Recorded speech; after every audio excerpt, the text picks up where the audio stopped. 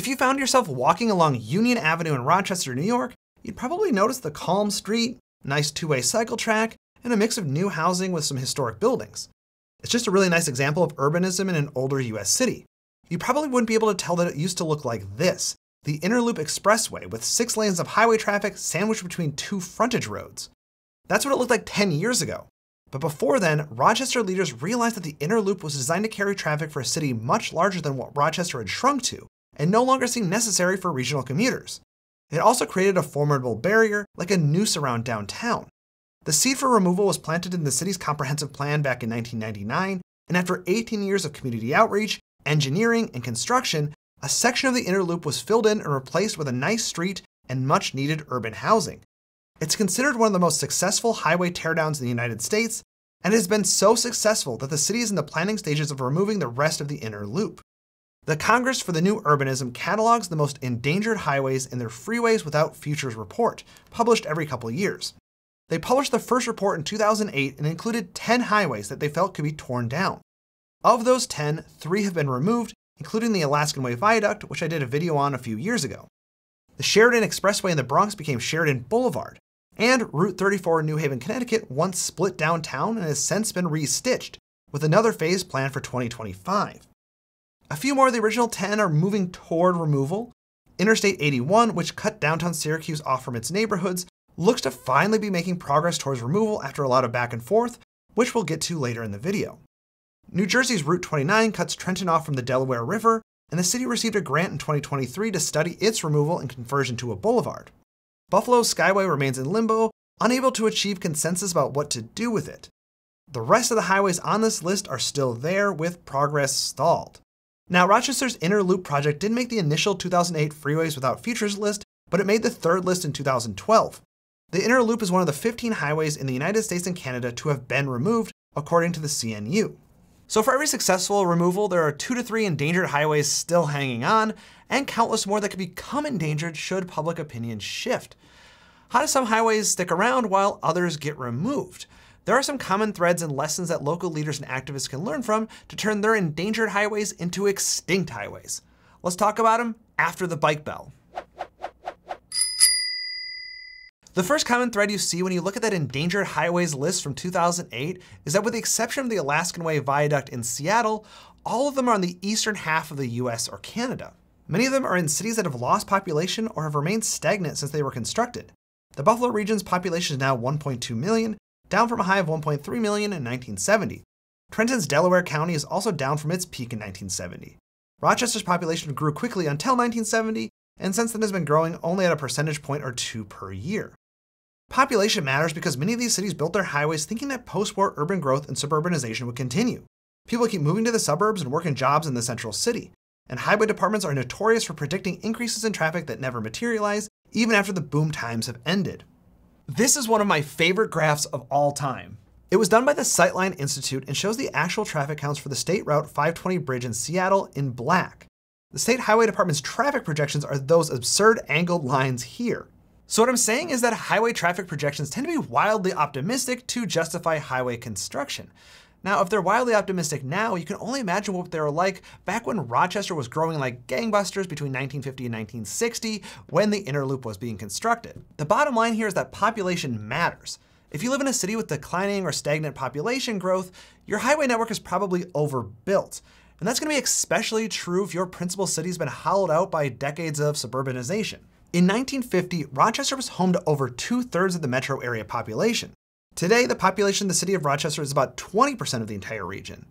The urban loop freeways are just not as necessary, as increasingly trips are being made from suburb to suburb instead of suburb to city. Fewer people mean fewer cars. Duh.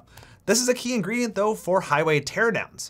A typical large US highway can carry 200,000 vehicles per day. Rochester's inner loop was carrying 7,000 vehicles per day before it was torn down. For reference, your suburban arterial street with fast food restaurants and big box stores likely carries 20 to 30,000 vehicles per day. This is a big reason why nobody really missed the inner loop when it was gone. There's nobody really using it in the first place. Low traffic volumes can also make it easier for transportation engineers to make a case for removing a highway and replacing it with a street or boulevard. Union Street, the former inner loop, is a perfect design for only a few thousand cars per day. Busier streets like the Embarcadero in San Francisco are designed as busier boulevards, but are still way better than the highway that existed before. Okay, we've got population and traffic counts. What else does a city need to remove a highway? Well, political support is huge. Those factors can go a long way to convincing politicians to support a removal, but there are some other factors too. Politicians are sometimes swayed by showing that the area the highway consumes could be converted into a better use. Many urban highways were built along waterfronts, which today are considered valuable real estate, either for new development or parks. The classic example is Harbor Drive in Portland, Oregon.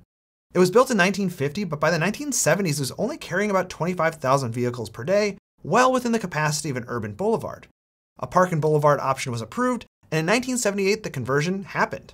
Just a note to politicians, if you're responsible for a highway teardown like Oregon Governor Tom McCall, they'll name a beautiful park after you. Not a bad deal. Certainly better than the highway being named after you, which many highways are. Gross. Politicians might not be swayed by a park, though. What about good old fashioned economic development? Milwaukee, Wisconsin replaced a 1.3 kilometer stretch of highway with McKinley Boulevard. They reinstated the street grid and created a plan for redevelopment of an area that has been pretty depressed thanks to the highway. The resulting transformation of the area helped generate $1 billion in downtown economic development. Not bad for a highway demolition that cost $25 million. The deal gets even better when you find out that it would have cost 50 to 80 million to repair the highway instead of removing it. If you have all of these factors working in your favor, then it's pretty easy to make a case for a highway teardown. But if you're missing even one or two of the factors I mentioned, it gets much harder. One of the best examples of this is from our Freeways Without Futures list from 2008, and that's Highway 81 in Syracuse. On paper, this removal should be a slam dunk. It's a small city that invites comparison to its nearby neighbor, Rochester. Syracuse is a little smaller, but it's still your typical upstate New York City. It saw explosive growth in the first part of the last century, but has largely tapered off. Suburbanization has taken its toll on the central city too. Back in the 1960s, the New York Department of Transportation built I-81 as an elevated viaduct through the city, particularly in black and Jewish areas, home to many lower income residents. Today, it's crumbling and in dire need of repair. Local leaders and activists have also argued that the rift in the community created by the highway also needs repair, and proposed removal instead of renovation. This was not the first choice of the state DOT, who initially proposed putting the highway in a tunnel, similar to another famous highway project, Boston's Big Dig. It was quickly and obviously rejected as being too expensive. To their credit, the state DOT pivoted to a plan advocated for by many Syracusans called the Community Grid. This plan would replace the highway with a boulevard called Almond Street, the name of the original street the highway destroyed. It would reconnect the two sides with new surface roads and better pedestrian and bike facilities. In 2021, Syracuse Mayor Ben Walsh and New York Governor Andrew Cuomo supported the community grid plan, and the state budgeted about half the necessary funds to complete the project and begin phase one. Then, in 2022, a judge granted a temporary injunction halting the project. A community group called Rebuild 81 brought the case, hoping to stop the community grid option and instead rebuild 81 as it is today, with a few additions. This includes a strange looking skyway proposal that I can't tell if they're being serious about. They argue that the highway is a necessary piece of infrastructure and many businesses along it rely on it. In addition, regional leaders want to keep it because regional commuting is really important to them and they don't care as much about the people who live right along the highway. Furthermore, I-81 still carries 100,000 vehicles, a far cry from the 7,000 before they replaced the inner loop. The good news is that the five judge panel recently overturned that lower court decision to halt the project. Renew 81 said they would appeal, but as of right now, the highway removal project remains on track. The governor praised the decision and the state and local government remains committed to tearing it down. The Syracuse example shows how tricky it can be to remove a highway when it has everything going for it, except that it still carries a lot of people and supports a lot of businesses. Organized opposition will form and they'll do a lot to delay the project like they're doing for 81. The other lesson here is that local activism, both for and against, can make or break a project. It might be one of the most important factors in highway removal.